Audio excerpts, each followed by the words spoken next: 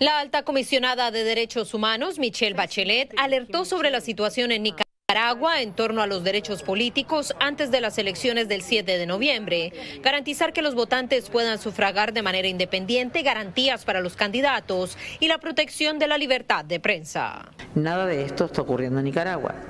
Entre el 22 de junio y el 6 de septiembre, mi oficina ha documentado la detención arbitraria de 16 personas, incluyendo dirigentes políticos, personas defensoras de derechos humanos, empresarios, periodistas y líderes campesinos y estudiantes que se suman a otras 20 detenidas a partir del 28 de mayo. Bachelet agregó. Varias de estas detenciones arbitrarias, especialmente en el caso de las mujeres, presentan elementos para ser consideradas como tortura o malos tratos. Bachelet ofreció la ayuda de su oficina e hizo un llamado. Exhorto a este Consejo a considerar todas las medidas a su alcance para promover y proteger los derechos humanos en Nicaragua.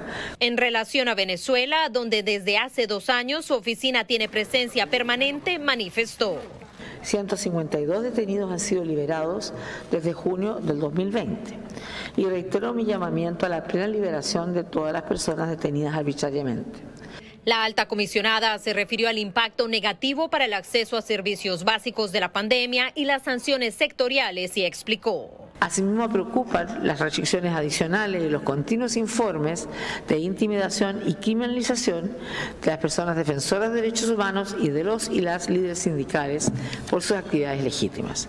Los gobiernos de Daniel Ortega y Nicolás Maduro han rechazado el reporte de la alta comisionada de derechos humanos que según un comunicado del gobierno de Venezuela tiene fallas metodológicas e incorpora afirmaciones sin fundamento alguno. Celia Mendoza, Voz de América, Naciones Unidas.